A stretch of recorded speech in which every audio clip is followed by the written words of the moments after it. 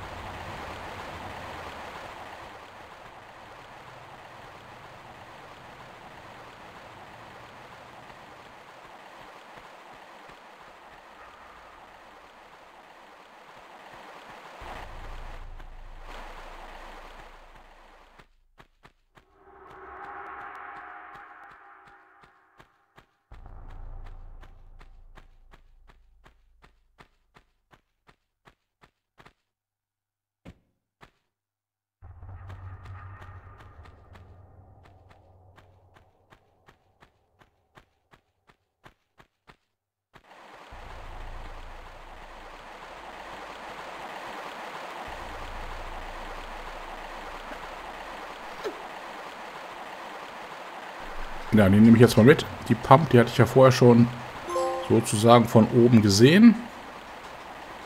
Aber hier geht es nicht wirklich weiter.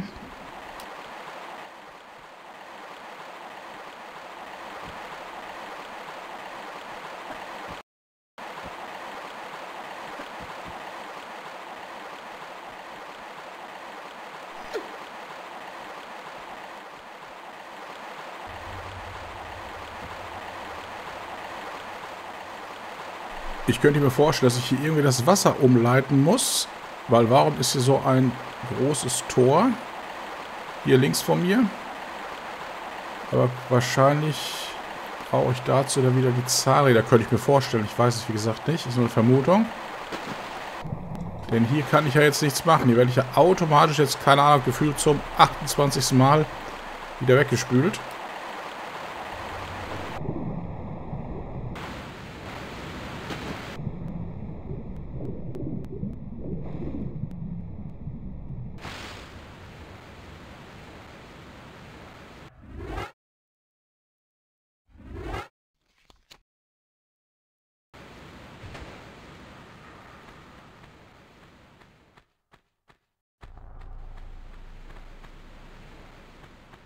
Heißt für mich, ich kann ihn nur links weiter, aber ja.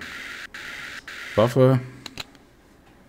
Wenn ich mal die in Anschlag, vielleicht ist das wichtig. Ich kann mir vorstellen, dass hier vielleicht größere Tiere kommen oder wieder Wölfe. Na, komm hoch ins Lara. Also die Steuerung, die lässt arg zu wünschen übrig. Ist also nicht meine Unfähigkeit, hier Lara zu bedienen, sondern an viel... Oh,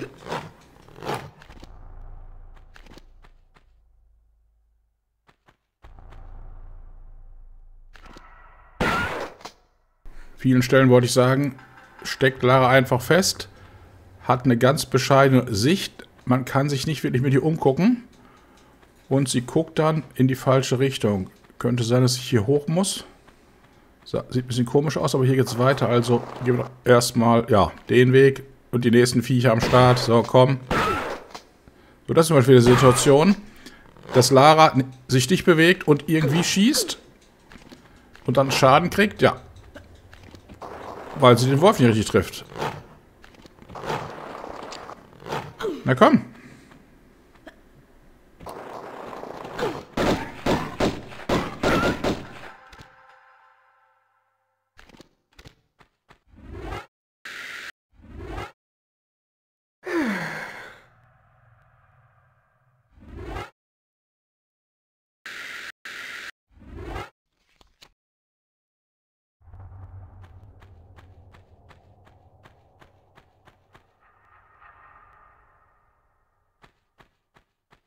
Das sieht schwer nach einer Sackgasse aus. Ja gut, komme ich auch nicht hoch. Gut, dann bleibt ja nicht mehr so viel übrig. Dann kann ich nochmal Richtung Zahnräder gehen. Eventuell muss ich da an, mich an der Seite links Richtung ja, dieser kleinen Wasserfälle hangeln. Denn wozu ist dieser Minischlitz gut gewesen? Oder es geht hier irgendwo weiter, aber wo?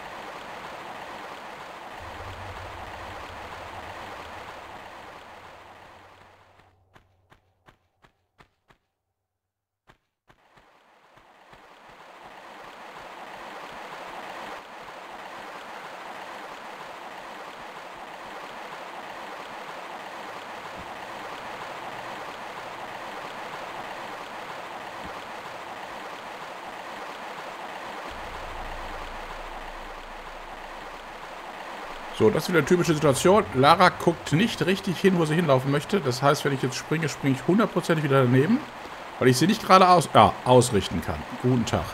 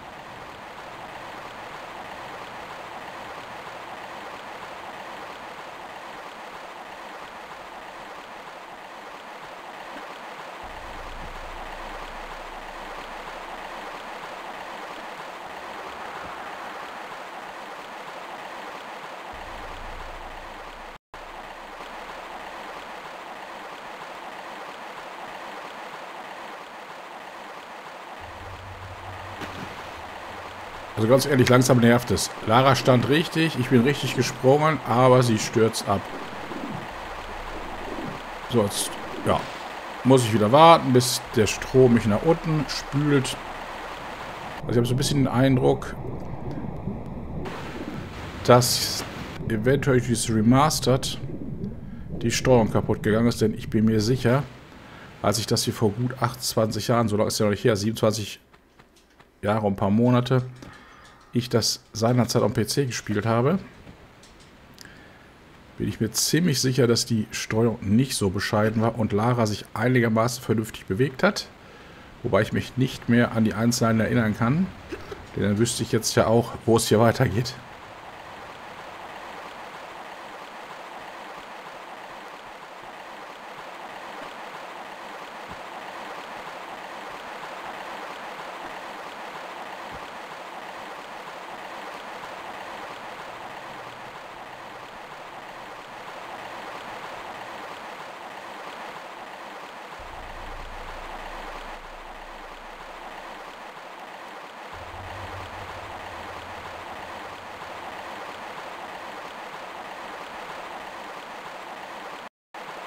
Das hier ist extrem nervig, besonders in dieser Ecke. Ich kann Lara nicht ausrichten, dass sie geradeaus guckt, geradeaus läuft und ich dann hier über diesen kleinen Vorsprung über das Wasser springen kann.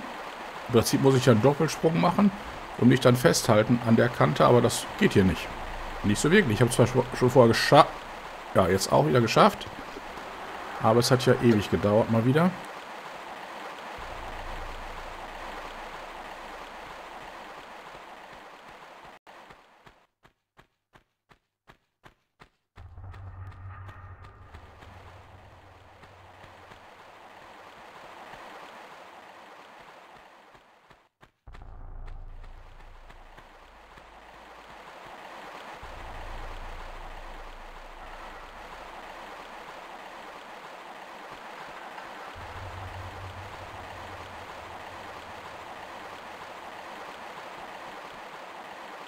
Jetzt gibt es wahrscheinlich gleich die nächste Schwierigkeit. Wie kriege ich Lara sicher und sauber da an der Felskante runter, dass sie sich mit den Händen festhält und nicht runterspringt? Ich vermute, da brauche ich jetzt auch wahrscheinlich wieder ein, zwei Anläufe für.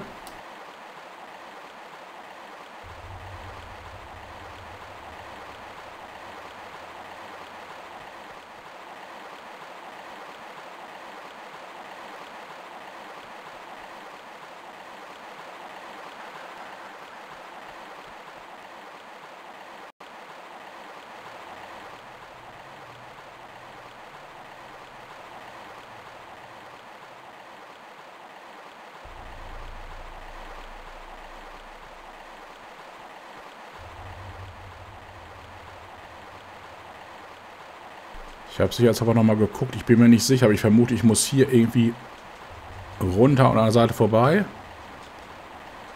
Und da hinten auf diese, ja, ah, Glück gehabt, aber falsche Ecke, auf diese, das sind, sieht das da in so, ja, die Steine, wo das Wasser halt runterläuft, diese wahrscheinlich Quellen. Da muss ich wahrscheinlich irgendwie hin.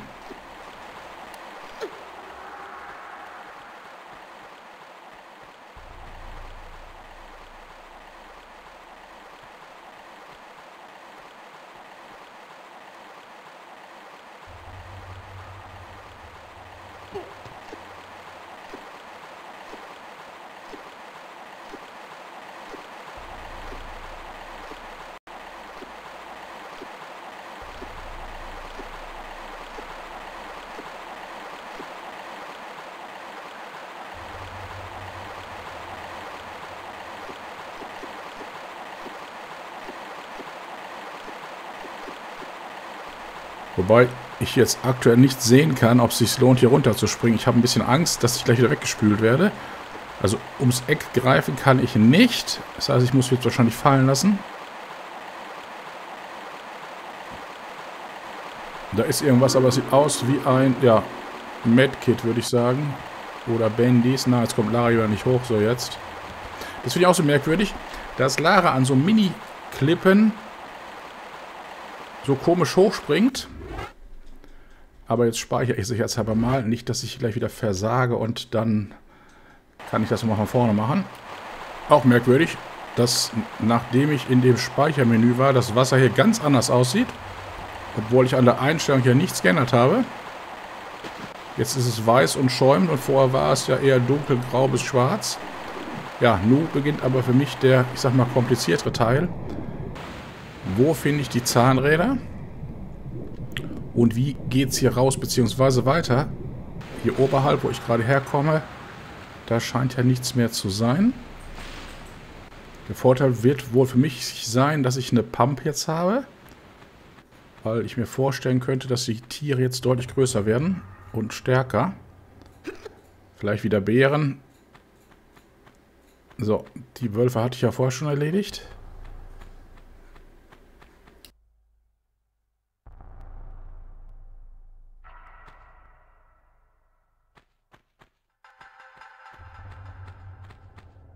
Also beim Gefühl nach geht es nur geradeaus weiter. Da oben ist ja was, aber wie komme ich da hoch? Das sieht so aus, als könnte ich da nicht hochklettern. Oder vielleicht doch und ich übersehe es nur.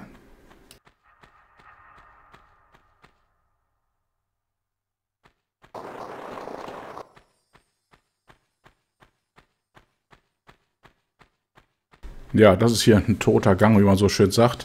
Außer es ging hier irgendwo links oder rechts rein, was ich im Dunkeln nicht sehen kann.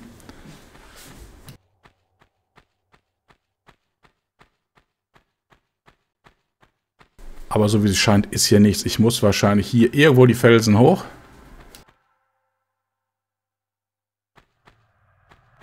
Aber für mein Verständnis außer dieser Felsen sind die einfach abgeschrägt. Da kann Lara gar nicht hoch. Ich probiere es einfach mal. Ob Lara sich da irgendwo hochziehen kann. Hier wahrscheinlich nicht. Nee, dann höchstens links an der Seite.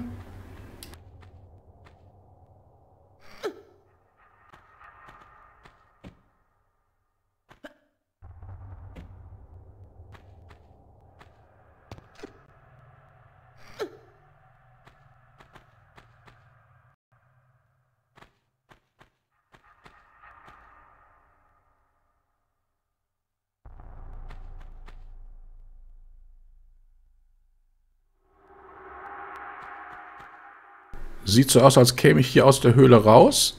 Ups.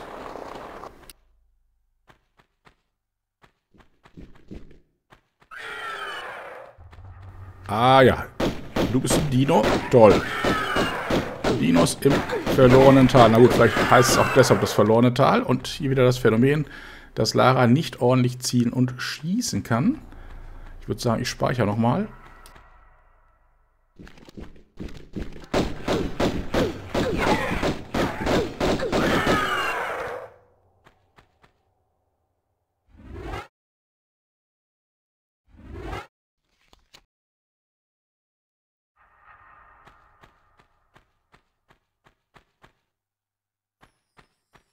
So, und jetzt ist wieder spannend. Hier muss ich bestimmt irgendwo hoch oder reinkriechen. Beziehungsweise fehlen mir ja noch diese ominösen Zahnräder. Die werden hier hundertprozentig irgendwo versteckt sein. Wahrscheinlich kommen auch noch mehr von diesen Dino-Viechern, die die Zahnräder unter Umständen bewachen.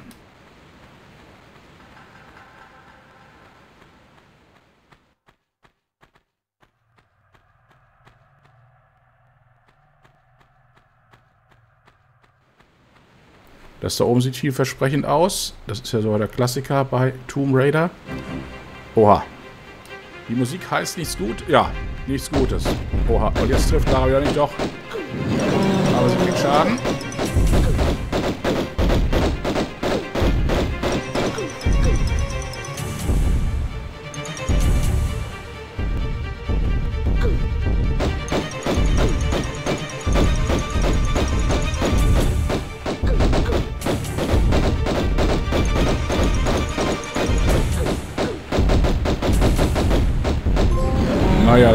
Einfacher, als ich dachte. Ich habe es nicht geschafft, die Pump rauszuholen. Ich wollte sagen, diese Brücke. Da oben ist ja so der Klassiker bei Tomb Raider. Ich muss da bestimmt irgendwie hoch und dann mir überlegen, wie ich über diese kaputte Brücke komme. So, speichern. Nicht verkehrt. Ansonsten muss ich nochmal gegen Dino kämpfen. Hier geht's rein. Das gucke ich mir gleich an. Erstmal dieses weitläufige Tal begutachten.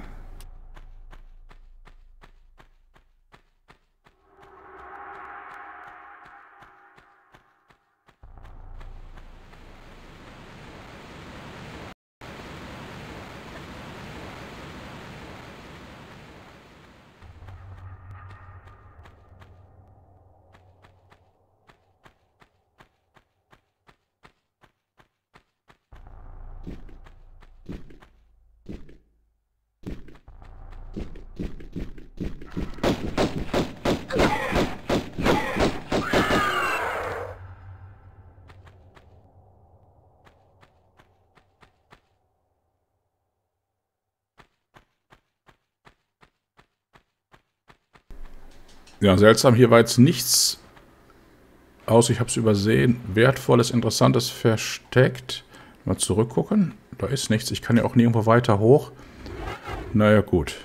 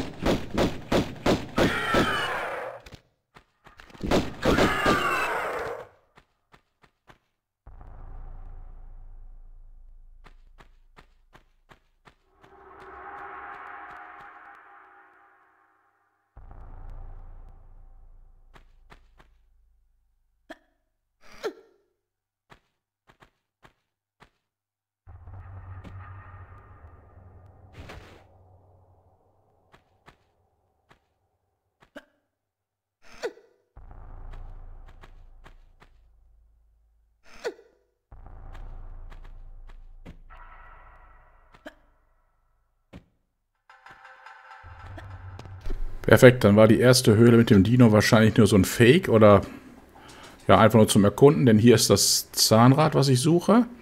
Und dann werden die nächsten, ich glaube drei Stück waren es, die nächsten beiden auch äh, gut versteckt sein.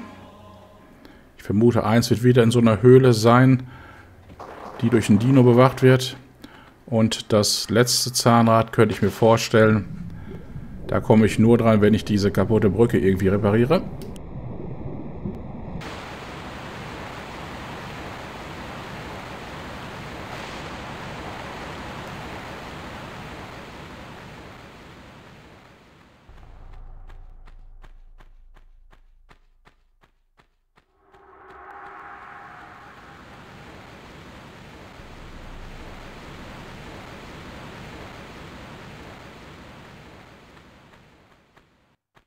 Ich gehe aber sicherheitshalber hier nochmal gucken. Nicht, dass ich doch einen Abzweig während des Kampfes gegen den Dino übersehen habe, aber es sieht nicht so aus, als könnte man hier irgendwo abbiegen oder hochklettern. Nee, da geht es bestimmt nicht hoch durch das Loch.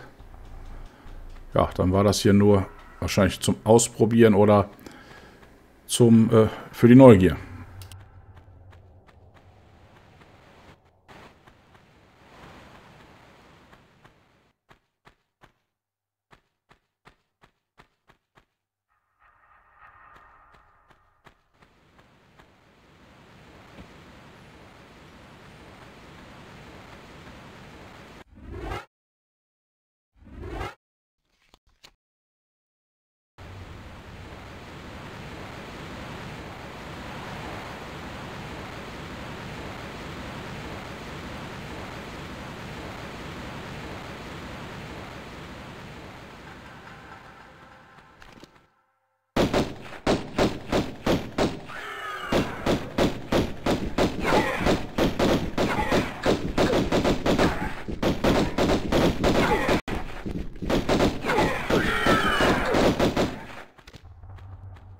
Das da oben sieht aus, als könnte ich da hochklettern. Jetzt die Frage, erst hoch oder erst in diese Tempel? Ich glaube, ich gehe erstmal hier hoch. Eventuell ist das der Weg zu der Br Brücke. Ja, wenn Lara da mal hochkäme, könnte ich das auch ausprobieren.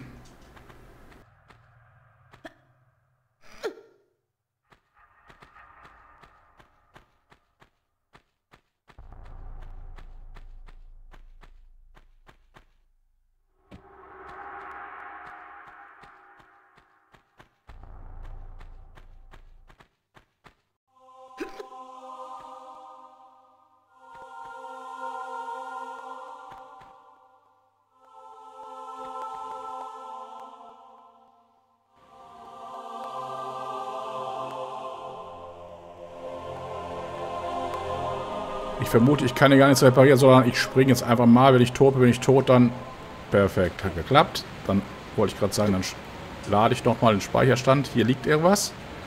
Ja, Zahnrad Nummer 2. Ich gehe mal ganz stark davon aus, da da vorher zwei Dinos als Wache standen, das Zahnrad Nummer 3, Supi, daneben, äh, ja, Zahnrad Nummer 3 wahrscheinlich in dem Tempel drin ist.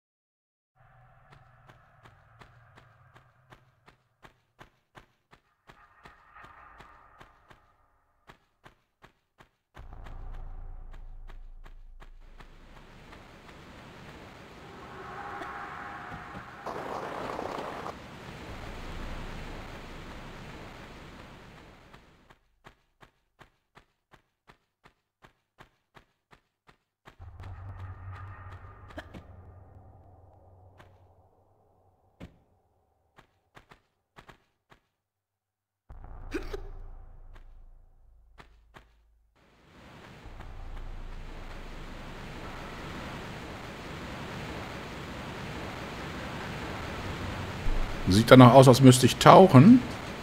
Oder irgendwie einen Schalter finden, um das Wasser auszuschalten. Aber ich gehe davon aus, das ist so eine Tauchaufgabe hier. Das sieht ganz danach aus. Und dann... Ah, da ist das Zahnrad. Ich wollte sagen, dann geht es hier hinten wieder hoch. So, Lara bitte einsammeln. Danke. Jetzt haben wir erstmal drei Zahnräder. Und jetzt muss ich einen Weg hier aus diesem Tal wieder zurück in das Höhlensystem finden.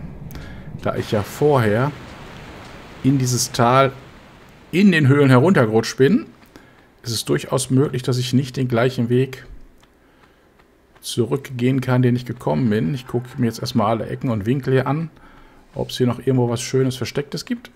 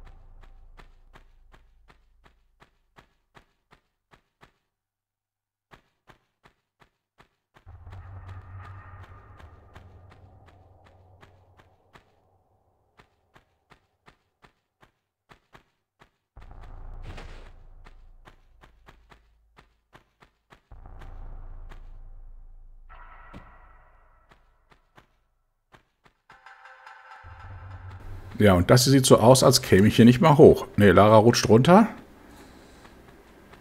Kann natürlich sein, dass hier irgendwo eine versteckte Nische oder irgendwas ist, wo ich mich hochziehen kann.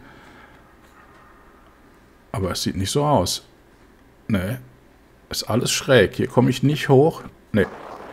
Gut, dann gucke ich jetzt nochmal draußen.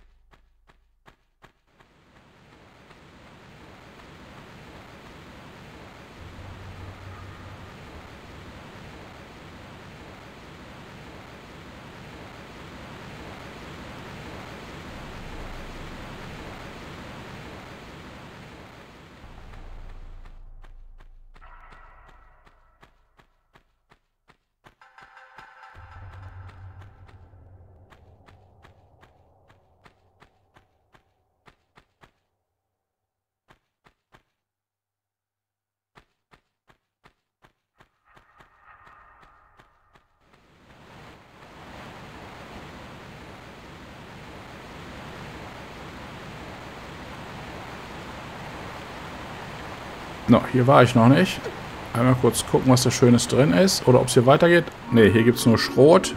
Hört man ja auch an der Musik, dass das hier ein zu findendes Geheimnis ist. Gut, dann gucke ich mir noch andere Nischen an, ob es hier weitergeht. Und ansonsten muss ich gleich nochmal zum großen Haupteingang und da gucken, wie und wo ich da zurückkomme.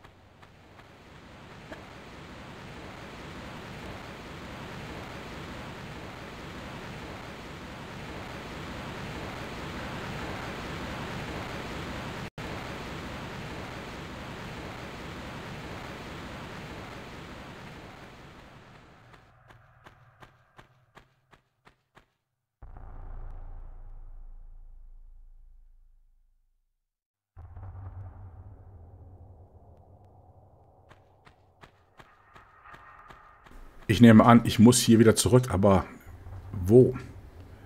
Noch sehe ich es nicht. Ich kann höchstens mal probieren, an der Schrägen hochzuspringen, ob Lara sich da hochziehen kann. Oh, das kann sie. Ich fasse es nicht. Oh, das ist da nicht schräg an der Stelle. Ach ja, jetzt sehe ich das. Das ist immer so ein Stückchen schräg und so ein ganz klein bisschen... Ne, hier geht's nicht. Und so ein ganz klein bisschen gerade. Und da kommt Lara dann hoch. Na, perfekt. Dann sollte das ja jetzt mit den Zahnrädern klappen. Wobei ich wahrscheinlich jetzt wieder ewig brauchen werde, um Richtung Zahnräder zu kommen, weil ich an dieser einen Nische wieder verzweifeln werde.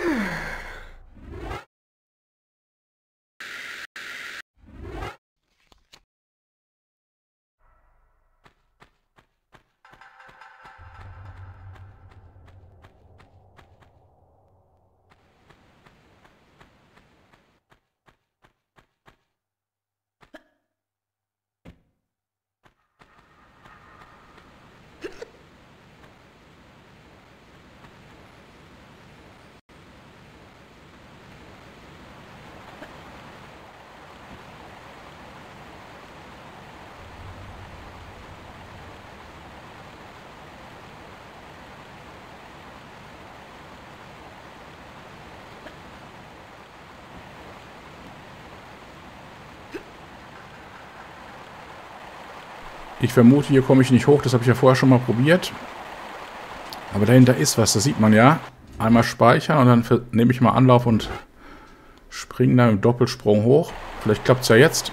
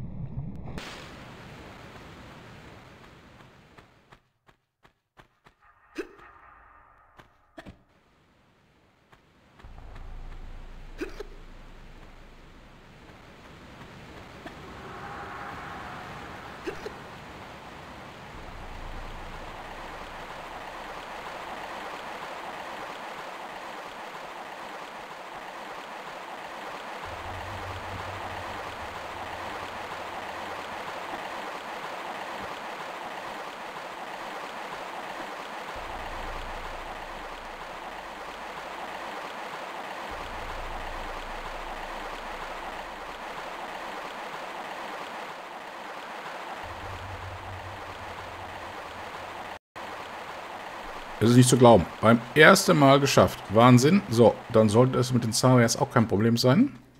Und dann bin ich gespannt, beziehungsweise freue ich mich darauf, was dann noch für Rätsel kommen. Oder ob es dann schon fertig ist, die Mission. Ich glaube es nicht. Ich nehme an, die Zahnräder, wenn ich jetzt da reinstecke, den Hebel drücke, die lösen irgendwie einen Mechanismus aus und danach passiert da noch was.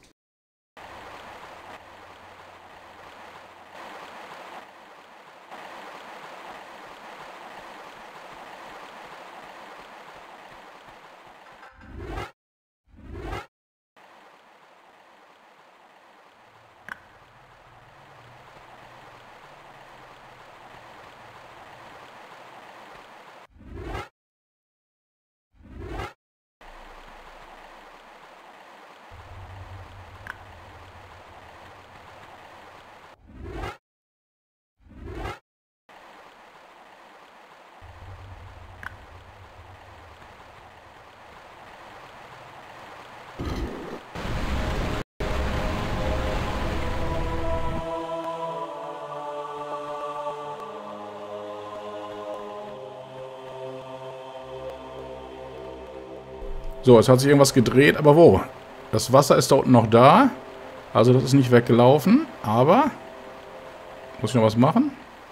Nee. Passiert nichts. Jetzt muss ich gucken, wo sich was geöffnet hat. Das klang nämlich so, als wäre irgendwo eine Tür aufgegangen. Aber das ist ja bei den alten Tomb Raider oder auch bei den neuen Jahren teilweise so, dass man nicht... Ah, doch, da unten. Dass man nicht genau sieht, äh, was man ausgelöst hat. Und das ist das, was ich ja schon vermutet habe. Ach, jetzt hätte ich sogar noch einfach an die Schrotflinte kommen können. Das ist ja das, was ich vermutet habe, dass ich das Wasser umlenken muss. Bin ich mal gespannt. was jetzt passiert. Ich vermute, da jetzt hier überall Wasser drin ist, komme ich in dem letzten Raum, in dem ich vorher ja nicht weitergekommen bin, dann mit Tauchen nach oben und kann irgendwo rausklettern. Und eventuell ist es ja das oder der Raum, das der Raum, ja so, den ich vorher von der anderen Seite gesehen habe, wo ich mit dem Doppelsprung nicht hingekommen bin. Das könnte er sein, oder? Ja, sieht genauso aus wie das Muster, was ich von der anderen Seite sehen konnte. Es macht Klong. Also ist hier irgendwas versteckt. Ist wahrscheinlich jetzt ein Geheimnis. Eventuell hätte ich hier gar nicht lang gemusst. Wieder Schrot. Was haben wir da? Medkit, ne, Bandys.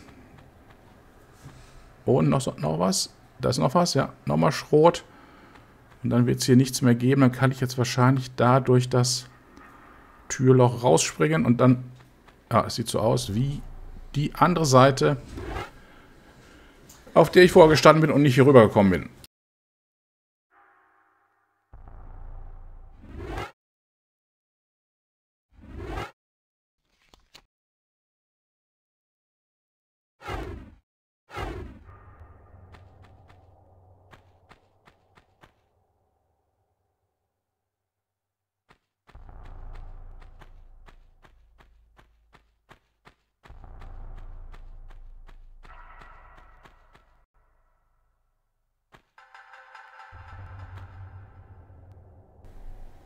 Dadurch, dass die Tür jetzt geschlossen ist, oder ich die ja umgedreht habe, ist das Wasser jetzt hier weg.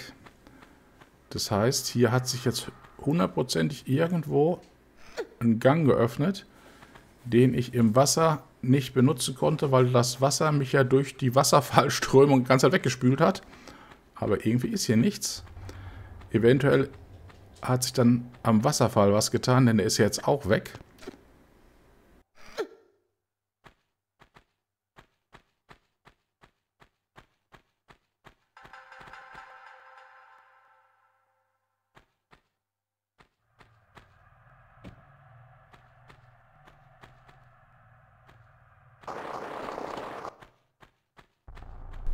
Das sieht nach der Lösung aus. Hinter dem Wasserfall oder hinter dem Wasserfall Schleier ist eine Tür bzw. ein Durchgang. Und da geht es dann jetzt hoffentlich weiter. Beziehungsweise wahrscheinlich sogar in den nächsten Level, vermute ich.